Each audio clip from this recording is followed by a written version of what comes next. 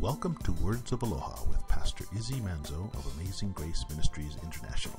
We're headquartered in Kailua Kona on the Big Island of Hawaii. Join us now as we get into God's Word.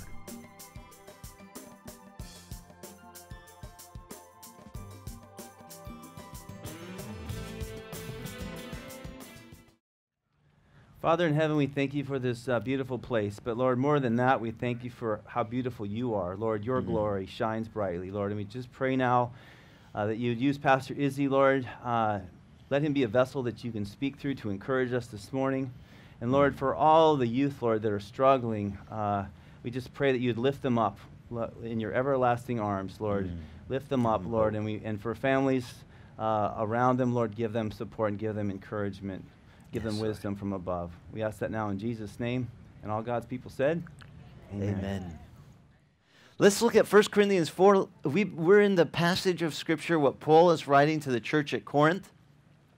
They were a church that was young in the Lord, young in their maturity in their faith. You know, and, and some of you might have run into Christians that, that are new in their faith. And um, so one fellow told me they should lock all those new Christians up until they get a little, a, a, a little uh, tempered. You know, they're a little wild and crazy and all, all excited about Jesus. But, but I think it's great that they're excited. The only problem was in their church, they began to say, I'm of Paul, or I'm of Apollos, or I'm of Peter, you know, I'm Cephas. I'm, and they identified with different, different men of God that God had used in the early church movement. And they were, instead of saying, I'm of Jesus, okay, Paul, so today we're coming to the part where Paul has, last week he said, guys, we're nothing. It's not us that that the gospel is about. It's Jesus that the gospel is about. And so we pick up today in chapter 4 verse 1. It says let let a man regard us, Paul says, in this manner. Here's how you should regard us. Alfred, this is how you regard us. He says, "You regard us as stewards uh, or as servants of Christ and as stewards of the mystery of God." This is this is how you need to regard us. We're just servants servants. Sla- literally in, in the Greek, this word is slaves.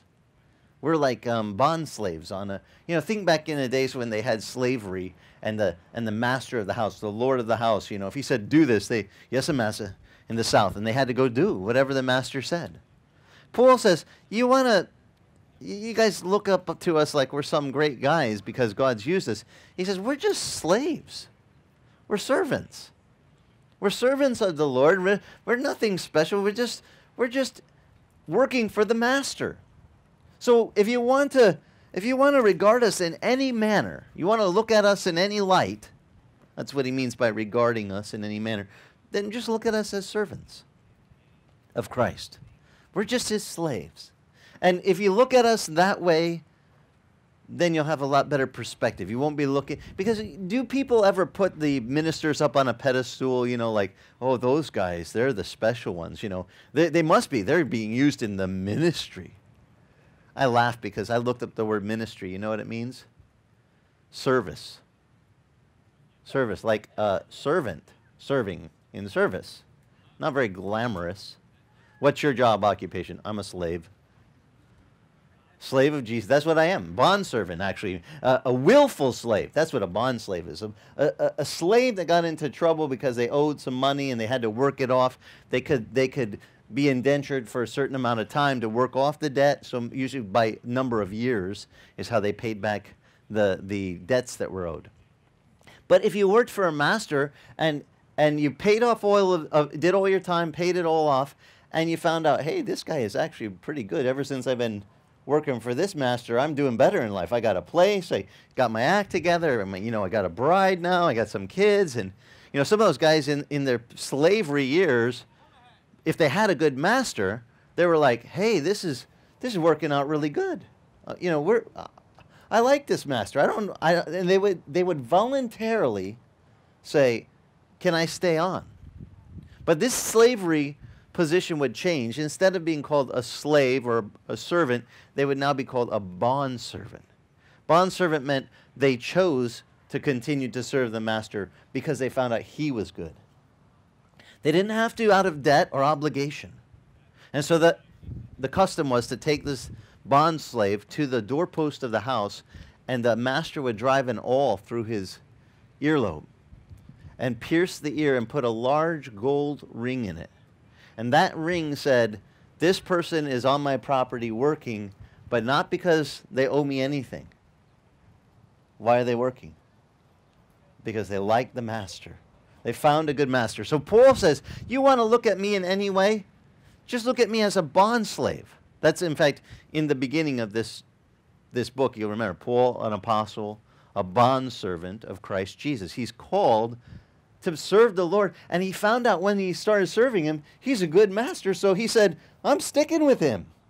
You know, I'm going to stick with that master. He, he is a great master to serve. Th- There's nowhere better to go to. He's like, I haven't ever done better since I've been serving the Lord. So you want to regard me as anything? He says, just regard me as a servant. I'm just here as a servant of Christ. And he says, and what was the other thing he was? A steward of the mystery of God. Now, what mystery was he a steward of? You read on. It says, in this case, he says, moreover, it is required of stewards that they be found trustworthy. There's a qualification for a steward. You have to be a trustworthy person because you're, you're, you're in charge with something great, a mystery. A mystery, it says, Paul said that was hidden from, from the early ages that God was going to send his Messiah to redeem man. And that he was going to do that not because men earned it or anything, but because God was so good, he was going to do it out of his love, his kindness. And so he says, This is the mystery I've become a steward of. The mystery of the gospel of grace. And if you guys have read Paul's writings, you know he's the big proponent of, of grace. I mean, grace, it's grace everything with Paul. Paul says he was what he was by the grace of God. I am what I am by the grace of God. That's all there is to it. He said, by God's grace. And grace means unmerited favor. You didn't earn it. You didn't you didn't in any way make it happen. It was because of the giver of the gift you were given the gift. Not because of your greatness. You know, God didn't give us salvation because we're so great. In fact, let's go on and see what Paul says about the things what God has given to us and the attitude we should have. Because the Corinthians, they kind of got stuck up. They thought, yeah, good thing God's got me on their team. And good thing I have all this stuff that he, you know, can use. And Paul's going to point out, where'd you get the stuff? Look at this. We read on, he says, look, for me, he said, it, it, it, it, it's a, it, well, for all of stewards, it's required we be trustworthy. But to me, he says, it's really a small thing that I be examined by you or by any human court, he says. In fact, he says, I don't even examine myself. Now, this really threw the uh, Pharisees into a tither in the book of Acts when he said he held not, he held no, no sin was he, he said, I, I have a totally clear conscience before God. And they went, You blaspheme! We've all blown it. You know, they knew the law. I mean, if you try to do the law, has anyone here ever tried to do the Ten Commandments? Have you made it through without breaking any of them? Because you know they, they broke those down into 613 smaller sub commandments called Levitical statutes. Just try to make it through the book of Leviticus and see if you can do without you know breaking a few infractions here or there. I mean, it's like I'm I'm sunk. I don't even get a page or two into it. I'm like I'm out. There's no way I can say by my merit I earn this. And Paul Paul said before the Pharisees in the book of, of Acts, he said, I have a totally clear conscience before God. And they went, You blaspheme. We all blow it. They, they knew all the rules.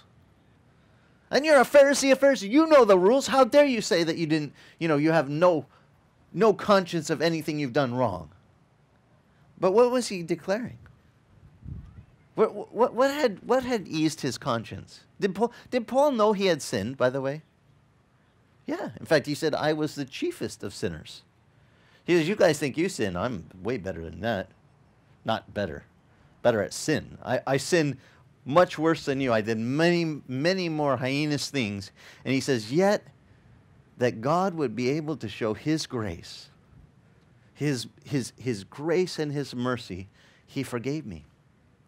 And this is something Paul, I think, has a better grasp than most Christians today. even though he sinned a lot, he recognized that the work of Jesus to forgive sin, his sin, was so complete that he could sit back and say, you know what, guys? I have a totally clear conscience now. And they go, how, what, how, how can you say that? And he said, how, how could he say that? Because he recognized the completeness of Christ's work. When Christ hung on the cross, the last three words he said before he yielded up his spirit, he said three words It is what? Finished. It is finished.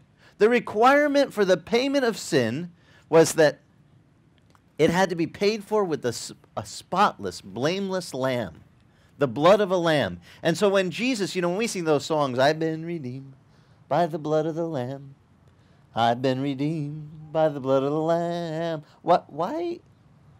What does that mean? That means Jesus paid for my sin. He bought me out of sin and, and, and said, I paid for that. It's taken care of. You know, Serena, we just baptized her into Christ. Where is she? She was right back there. There she is. Two weeks ago, we baptized her into Christ. And uh, is that right? Two? Three? Three weeks now. Three weeks she's been walking as a new creature in Christ. All the old stuff, I, I talked to her this morning, just to remind her, that stuff's all buried. In the waters of baptism, everything in our past gets buried. And that frees us up now. Not to be bond in bonds to the past, not to be stuck, you know, like some folks are, I, they, they go, I want to move forward, but you don't understand, Pastor. I really got hurt back here and, and I just can't let it go. And I'm like, you need to come to Jesus. You need a Jesus moment. You need to get born again and you need to get go to the waters of baptism and bury bury with Christ your old your old life. Put it down. That's what that water is, a symbolic grave. We bury you symbolically. And then when we pull you out of the water, it's like the resurrection. We resurrect you to new life, and that life, that's like the new start. Man, this that stuff's gone. No more power. And Paul, this is the thing about Paul. When he's talking, he's saying, guys, I just got something to tell you. And my conscience is totally clear before God. Why? Because he recognized how complete Christ's work was. Christ paid for all that stuff. He washed it away. I'm cleansed. Now, is that good for our spiritual understanding to learn that? You know, like, should we teach that to the youth? That when they come to Christ and they say, Lord, forgive me, that He does what? Clean slate. Because we have these men, I hate this, but they're out there. They're on power trips. They like to hold it over people like, you know, well, you're mostly forgiven as long as you come and give some money to our group. And you and you and you ask me for to just tell to I'll go pray special prayers on your behalf and you know and you, you'll have to do certain things, you know, according to our sect and and they they somehow say, "Yes, Jesus did a good work, but it's not complete because we have to kind of help round it out." And you're going to have to get involved with your pocketbook. I mean, they're just using it as an angle to get money. I hate these guys. Every time guys make the gospel about money, I just want to wring their necks. I mean, and I know I'm a pastor, you know, you think you shouldn't talk like that. No, there are certain guys like they're doing the body of Christ a disfavor. They're making the good thing, the good news of the gospel, into something that is tainted with junk.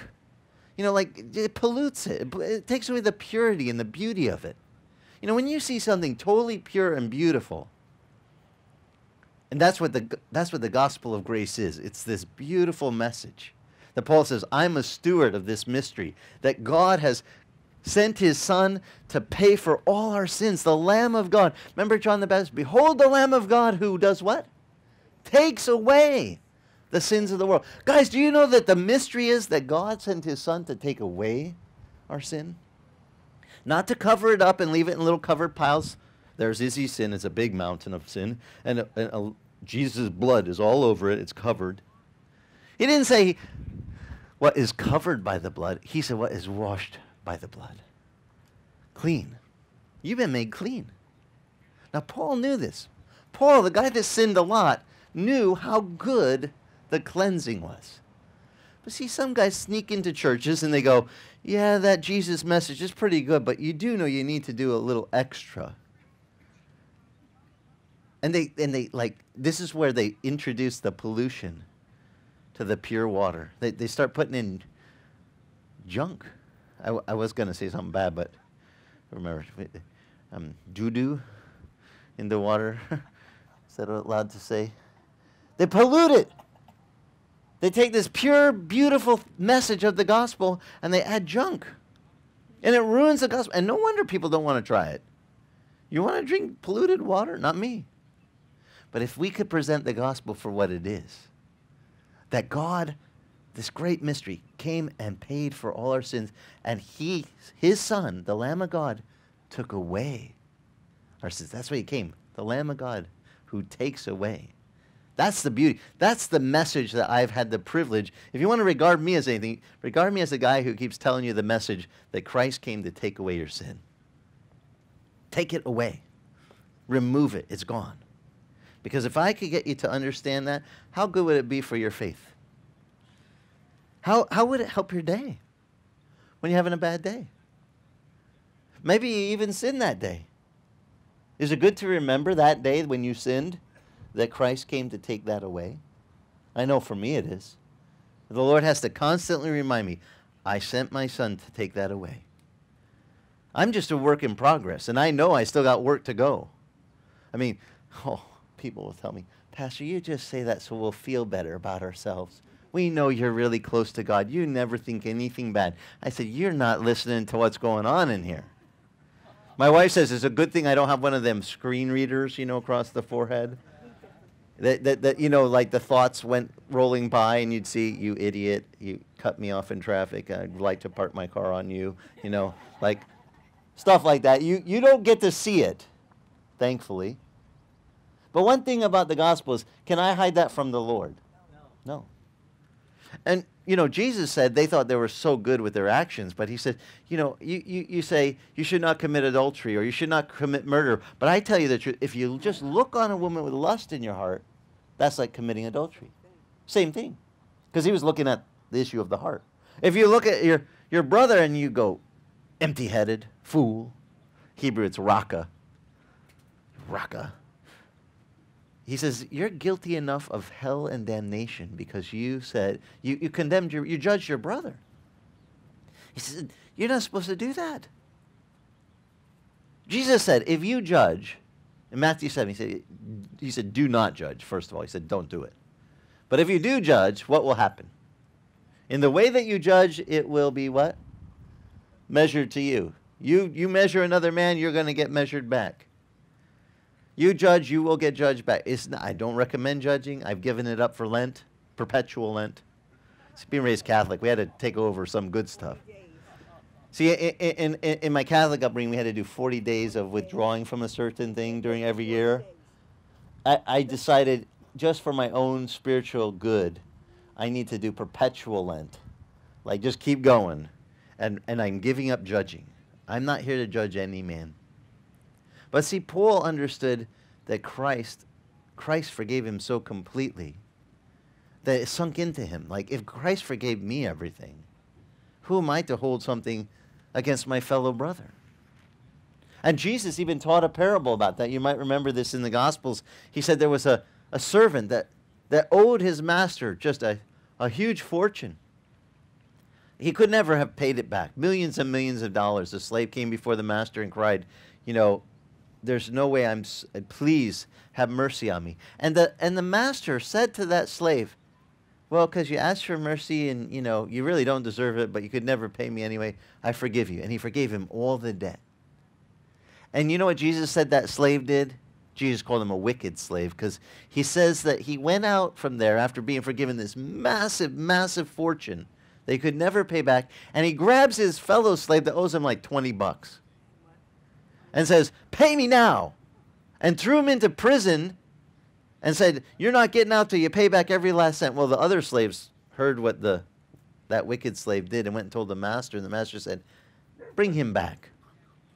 I forgave you all this, and you wouldn't forgive that, you know, 20 bucks. He said, throw him into the in, in, into the inner prison, and basically, you know, throw away the key. The guy is never going to pay me back. Exact what judge him the way he judged that man. Well, Jesus said, Hear this parable because this is how it's going to be with your Father in heaven. If you don't forgive your brother who you see, when God forgave you everything. Mahalo for joining us. If you'd like more information about us, go to our website, amazinggracekona.com, and click the link to follow us on Facebook. That's amazinggracekona.com. Mahalo and God bless.